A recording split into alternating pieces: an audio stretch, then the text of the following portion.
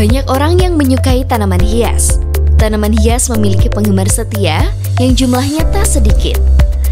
Selain sebagai pelengkap dekorasi rumah atau taman, bagi pedagang, tanaman hias dapat menjadi peluang bisnis yang menjanjikan.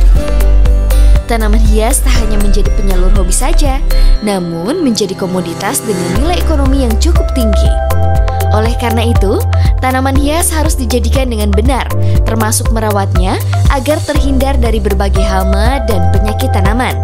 Juga tanaman tumbuh lebih subur, terlihat menarik, hingga meningkatkan nilai jual.